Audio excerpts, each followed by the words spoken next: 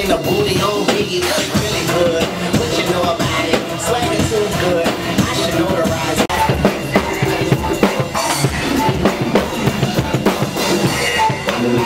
No,